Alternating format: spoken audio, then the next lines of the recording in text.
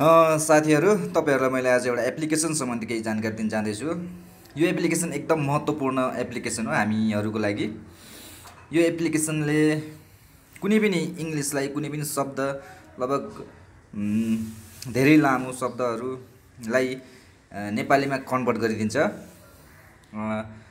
सायद धेरैलाई थाहा होला तर थाहा नहुने पनि हुनसक्छ। त्यस कारणले यो तपाईँहरूलाई एकदम महत्त्वपूर्ण ऊ हो। एक्जाम्पल मानौँ कुनै कुनै पत्र पत्रिकामा इङ्ग्लिस होला जस्तै कम्प्युटरमा इङ्ग्लिसहरू कहिलेकाहीँ आउँछ यताउता अब त्यो तपाईँहरूलाई थाहा हुँदैन त्यस्तो समयमा तपाईँले त्यो इङ्ग्लिस यो एप्लिकेसनमा टाइप गर्नुहोस् त्यसपछि तल कन्भर्ट भएर नेपालीमा आइदिन्छ। त्यसको लागि तपाईँहरू सुरुमा यो अनलाइन एप्लिकेसन हो अफलाइन हुँदैन यसको लागि। अनलाइन कन्भर्ट हुन्छ। सुरुमा यो एप्लिकेसन तपाईँ डाउनलोड गर्नको लागि प्ले स्टोरमा जानुहोस्। वाइफाई कनेक्सन हुनुपर्छ प्ले स्टोरमा गइसकेपछि तपाईँ गुगल सर्च ए सरी यो सर्च बटनमा क्लिक गरिदिनुहोस्। त्यहाँ गइसकेपछि यु डिक्सनरी यो तपाईँले डी लेख्ने बित्तिकै आइहाल्छ तर यहाँ यो माथि देख्नुपर्छ। यहाँ क्लिक गरिदिनुहोस्। क्लिक गरिसकेपछि अब यसलाई इन्स्टल गरिदिनुहोस्। इन्स्टल हुनको लागि केही समय लाग्छ। यो एकदम महत्त्वपूर्ण एप्लिकेसन हो भर्खर भर्खर निक्लिएको यो।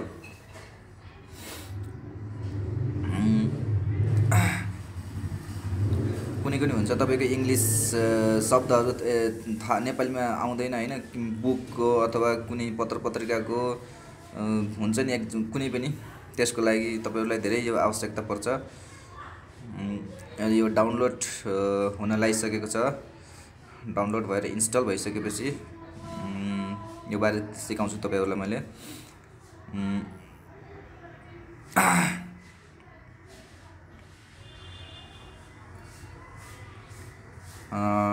लगभग डाउनलोड पुरा भयो भनौँ।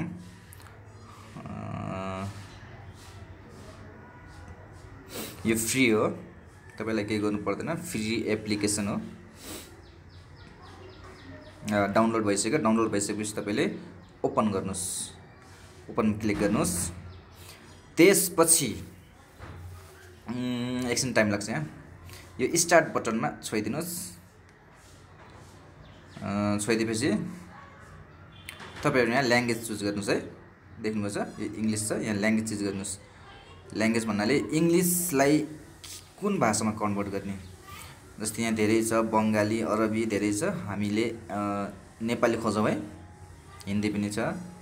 यहाँ तल तल तल तल तल जानुहोस्। तल यहाँ नेपाली छ। नेपालीमै क्लिक गरिदिनुहोस्। नेपाली ठिक छ? त्यसपछि डनमा छोइदिनुहोस्। डनमा छोइदिनुहोस्। ल खुल्यो। त्यसपछि तपाईँहरू यहाँ तल यो ए ए लेखेछ नि यहाँ छोइदिनुहोस्। ल माथि हेर्नुहोस्। English Nepali.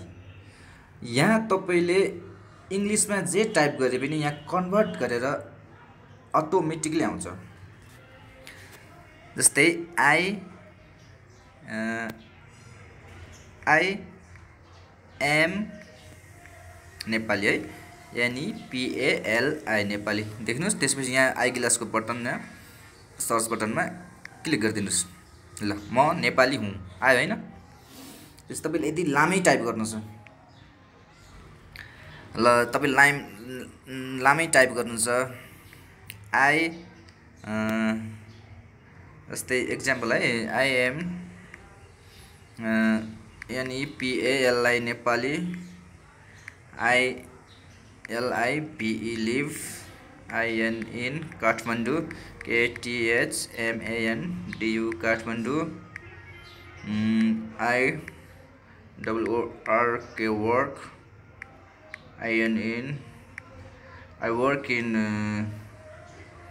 bill I work in teacher लेख्दैन न टिएससिएचइआर टिचर जस्तै यो लेख्नु भएन त्यसपछि फेरि सर्च गरेर क्लिक गरिदिनुहोस्। ल सबै म नेपाली हुँ म काठमाडौँमा बस्छु म शिक्षकमा काम गर्छु। ल आयो होइन?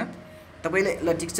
अझै धेरै तपाईँले धेरै टाइप गर्नु पऱ्यो जे टाइप गरे पनि हुन्छ। तपाईँको पत्रिकामा पत्रिकामा इङ्ग्लिस छ अब त्यसलाई नेपालीमा तपाईँले जान्नु भएन त्यो इङ्ग्लिस यहाँ टाइप गर्नुहोस् यहाँ आउँछ। जस्तै जस्तै कुनै कुनै अप्ठ्यारो शब्दहरू पनि तपाईँले टाइप गर्नुहोस् यहाँ आइदिइहाल्छ। जस्तै के भनौँ अब जस्तै अब पहिला पहिला डिक्सनेरीमा होइन त्यस्तो यत्रो लामोसम्म आउँदै आउँदैन थियो। सानो सानो मात्र टुक्रा आउँथ्यो अहिले त धेरै लामो हुन्छ।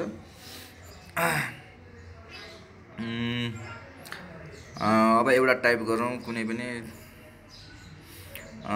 NEPL Nepal IS is Nepal is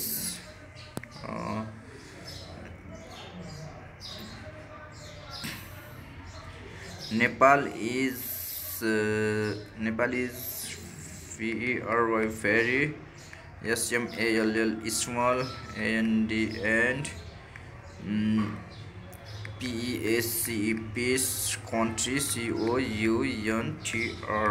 country. Sorry sorry sorry sorry big yeah. Small and N-I-C-E You like this no? Yeah sorry. N-I-C-E nice and the end beautiful B U T beauty beauty F U L L beautiful B U B U T Y beautiful beautiful country C O U N T R Y country लेख्नुहोस् मैले छोट गरेर बताइदिएको मात्र। त्यसपछि यहाँ search बटनमा click गरिदिनुहोस्। नेपाल धेरै सानो र राम्रो छ र ब्युटिफुल देश। ब्युटिफुलको स्पेलिङ बिग्रियो होला होइन? तर चाहिँ यही हो।